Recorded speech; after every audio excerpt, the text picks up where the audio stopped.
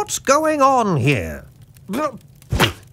Belfry ate my wedge of cheese! And I said I was sorry! Yes. uh, uh, now you two forgive each other and be friends. Animals, of course, have no idea what it means to forgive one another. I wonder sometimes if we humans do. Did you know that the word forgive means to set something free?